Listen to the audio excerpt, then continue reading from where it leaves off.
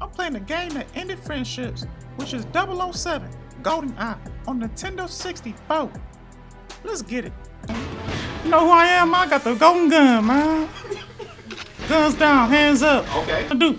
Y'all trying to do? Ish. What's up? What's up? What's up? What's up? Ish. Oh. Knock your ass out, man.